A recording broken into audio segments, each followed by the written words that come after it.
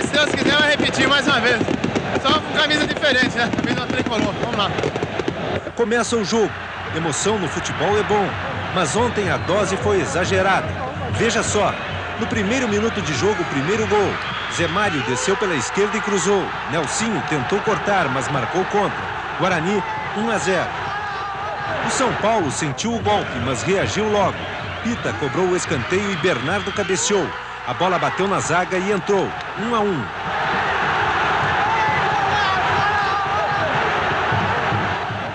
O Guarani se abalou com o clima tenso da partida e começou a vacilar.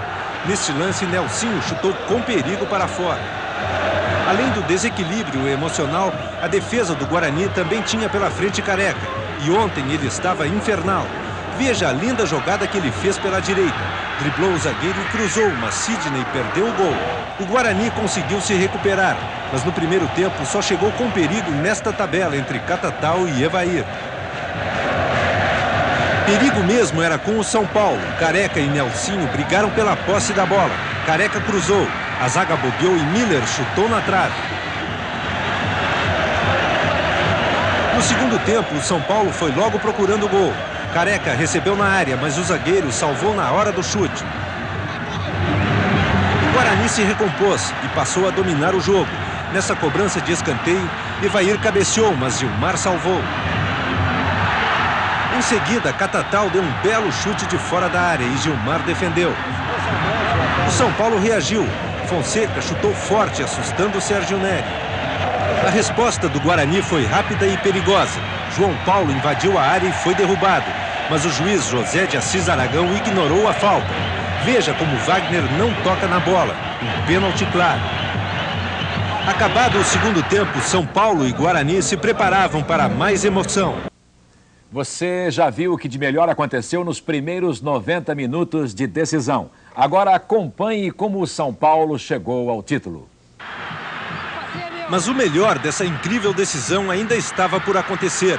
Foram 30 minutos de prorrogação impressionantes. Logo no primeiro minuto, Careca lançou Rômulo. Na confusão, a bola sobrou para Careca. Ele cruzou e Pita fez 2 a 1.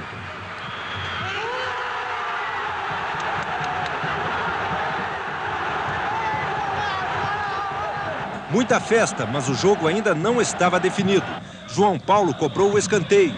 Marco Antônio Boiadeiro se antecipou à zaga e empatou. 2 a 2.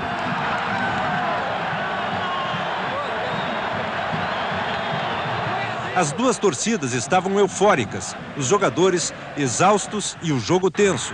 O resultado foi a expulsão do atacante Wagner do Guarani, um incidente que provocou ameaça de tumulto. Ô, Wagner, o que que houve? Não, simplesmente ele tá ofendendo a mim, tá ofendendo a mim como homem, pô. Tá xingando a minha mãe, tá falando que eu sou um perna de pau. Quem? O Aragão, simplesmente eu falei com ele que eu vou ser campeão brasileiro, por isso ele me expulsou. Com tudo normalizado, o segundo tempo da prorrogação foi dramático.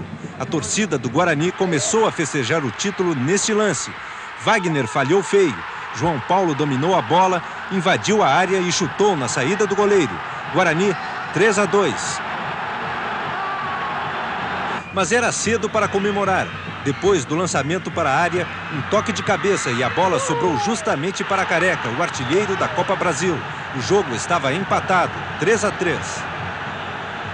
Careca, que deu o título para Campinas em 78, tirava a taça da mão do Guarani. E veio a cobrança dos pênaltis. Marco Antônio do Guarani bateu primeiro e Gilmar defendeu.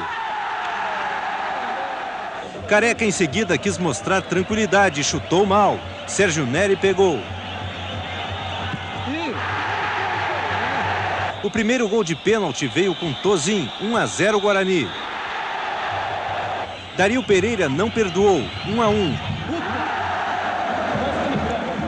João Paulo, um herói no jogo, chutou por cima.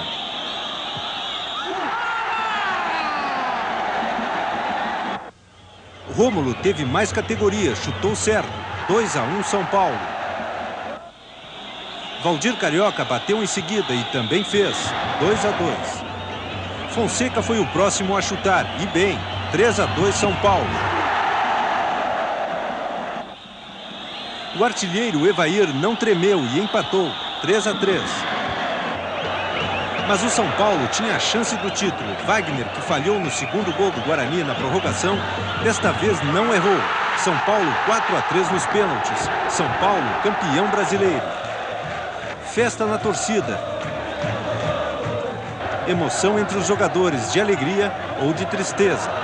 Essa rapaziada, por aquilo que fez, talvez não merecesse o castigo final de perder um campeonato por pênaltis como nós perdemos. Dentro de campo, o Guarani provou que tinha um time campeão, né? Exatamente, isso foi importante. Principalmente a disposição que o nosso companheiro está dentro do campo e realmente contagiava qualquer um. Eu também quero aproveitar e dar parabéns para todo o nosso time.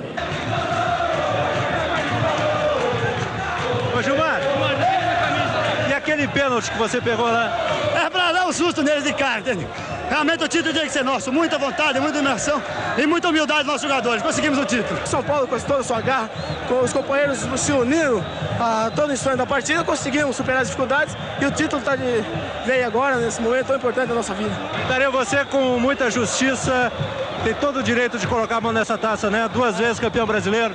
Vou tentar colocar novamente, não? O São Paulo hoje foi uma partida dificilíssima, realmente esplêndida. É difícil ver uma, uma final de campeonato desse jeito. Pepe sofreu muito ali no banco? Muito, muito. Aqui mesmo, Essa pera! Pai do filho! Beleza? E foi merecido o nosso título, porque aqui nós jogamos as duas partidas foi brincadeira. Mas a festa não terminou aqui no Brinco de Ouro. A comemoração pelo título brasileiro continuou em São Paulo. A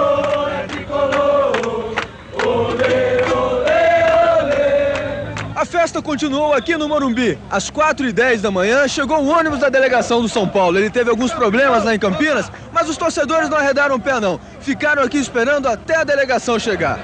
Mais de 500 São Paulinos ainda deliravam de alegria quando chegaram os campeões. O ônibus mal conseguia andar. Da janela, ídolos acenavam para fãs incontroláveis. Quem ainda teve garganta botou para fora o grito de guerra do Brinco de Ouro. Na chegada, o técnico Pepe animou a festa de torcedores e beijoqueiros.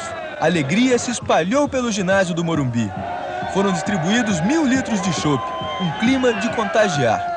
Essa foi a grande revelação desse campeonato. Nesses últimos jogos, foi a revelação. E hoje, fez um gol que ganhou o campeonato. Tudo alegria, tudo é festa, essa é a explicação. Chegamos aí quase 4, 4 e meia da manhã. Nós pensávamos que já não tinha mais ninguém. Encontramos aqui esse povoaréu incrível e nos recebemos. Estamos realmente muito felizes. A festa foi